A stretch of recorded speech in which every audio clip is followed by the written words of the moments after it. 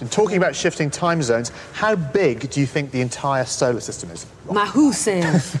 It is pretty big. Have a guess. Ballpark. What do you Uh, think? A hundred times the distance from the Earth to the Sun, so what's that, 15 billion kilometres? Well, they actually measure it at 10 trillion kilometres. That's a light year across. Wow. But what on earth does a light year mean? I wanted to try and explore that on a more human scale.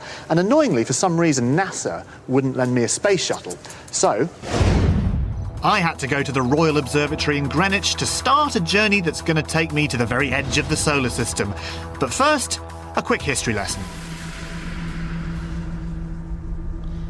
Absolutely love this. It's called an orrery, and uh, it's a little mechanical model of our solar system. You can see the planets here orbiting the sun as they would do in real life. But it's more than just a little interesting knickknack. It's actually the result of arguably the greatest revolution in the entire history of science. Before the 17th century, most people believed in a geocentric universe with the Earth slap bang in the middle and everything else orbiting around it, including our Sun. It's only when the big guns, Copernicus, Galileo, and Kepler, came along that our understanding shifted to a heliocentric model with the Sun at the centre of things and the Earth and the other planets orbiting it.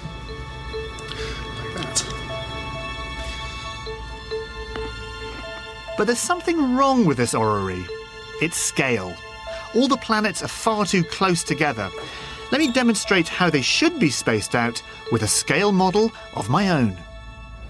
Now, our sun is a fairly average sized star. There's much bigger stars than ours in the universe.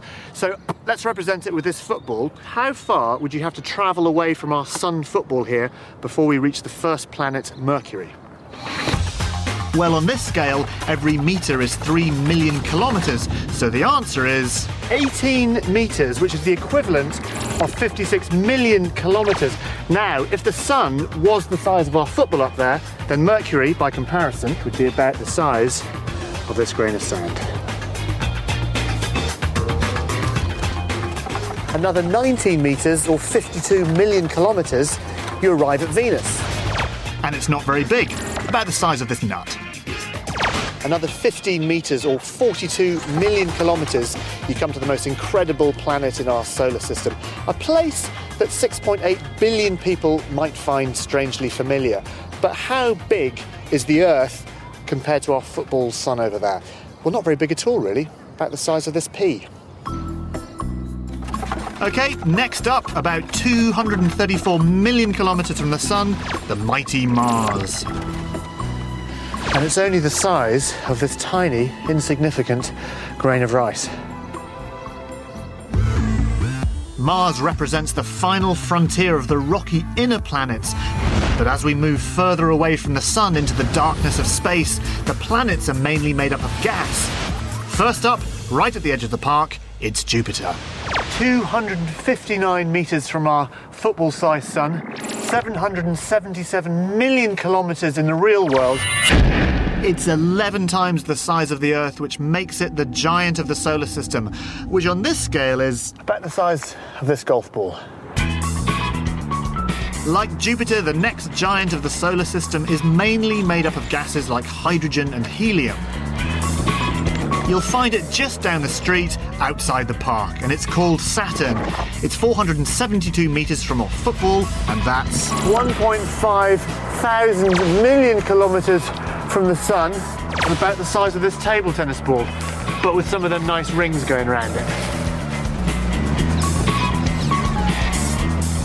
Finally, I'm in Greenwich town proper. Next up is a lump of ice and rock, more formally known as Uranus. It's about a kilometre from our football over there, or 2.8 thousand million kilometres from the sun. It's starting to get very cold and it's very dark. After that, 2.2 clicks from our football is Neptune, another icy lump the size of a grape, probably a, a white one.